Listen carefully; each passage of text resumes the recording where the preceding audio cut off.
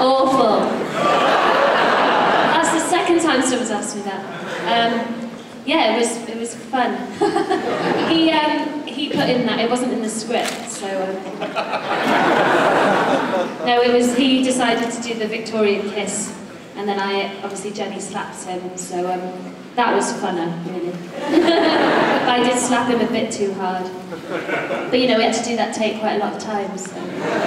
So this Victorian kiss, because it happens to me a lot when I kiss people, they slap me Yeah. as well. That's Gotta watch out.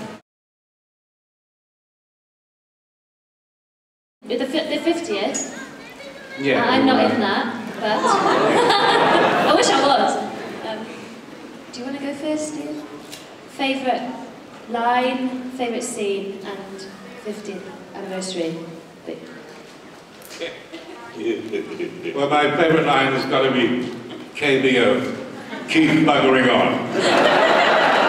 my favourite scene was when, uh, when uh, Matt attacked the uh, Dalek in my episode uh, because he was given two implements. He was given a ratchet spanner, a real one, which made a hell of a clanging sound when it hit the Dalek, and a rubber one, which he was meant to attack it really hard with. And he got them mixed up.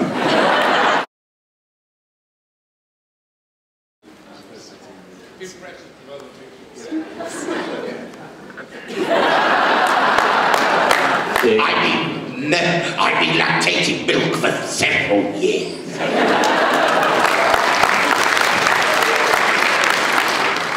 This country is now property of the Sultan Empire. Surrender your women and intellectuals. Uh-huh. We have to be very we don't see him much. What I will say about Steven Moffat, I, I I can't remember which episode it was, but there was one episode when we did the read through. He gave us all individually 10 minutes chat.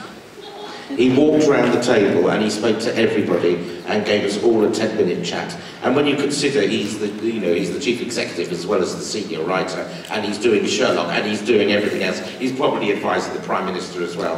It's the fact that he found time to give us time uh, uh, really shows the quality of the man and is really why we have this feeling that everything is a family.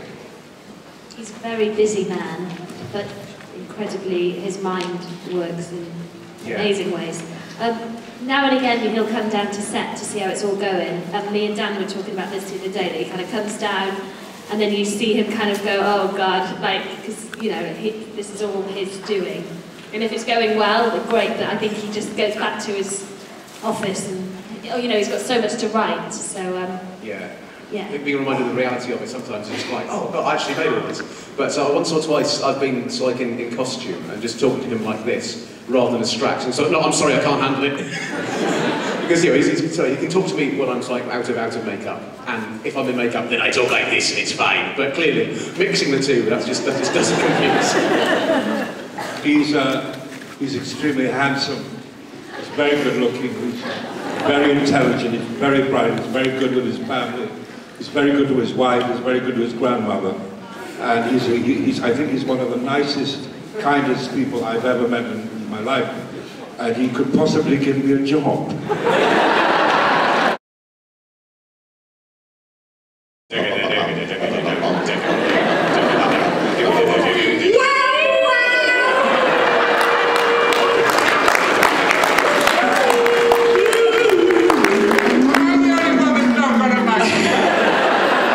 Why haven't I got a microphone? It's a big right there. Microphone for the Prime Minister. Doctor Who returns to BBC for the 50th anniversary episode.